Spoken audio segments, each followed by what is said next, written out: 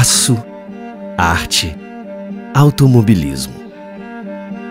Em que ponto do traçado eles se emparelham?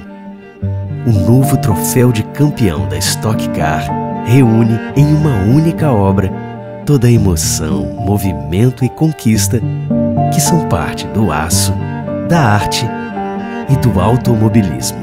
Há 25 anos atrás, aprendi com ArcelorMittal que eu poderia transformar chapas de aço em arte. O aço é uma matéria-prima realmente incrível. Ela pode ser dobrada, soldada, sem perder suas características, além de ser um produto sustentável, né? Eu e a ArcelorMittal somos parceiros há muitos anos. Eu fico muito feliz nessas parcerias com empresas que têm a palavra sustentabilidade, menor impacto ambiental na sua pauta. O aço é uma matéria-prima que ele pode ser reciclável, renovável. Então é uma cadeia contínua.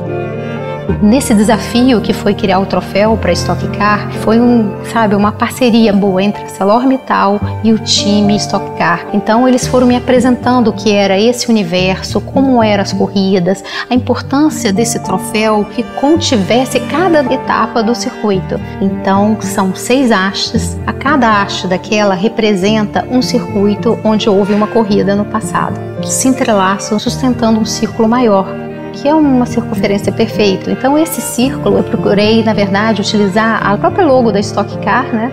E eu comecei a vazar no metal essa logo e foi muito interessante porque deu a ideia da bandeirada, do pneu, da freada do carro, passou uma ideia de velocidade, então eu fiquei realmente muito feliz com o resultado. Sempre uma grande honra, novos desafios. A partir deste ano, a conquista da Stock Car será ainda mais marcante, celebrada, única como o aço, a arte e o automobilismo. ArcelorMittal, aço oficial da Stock Car.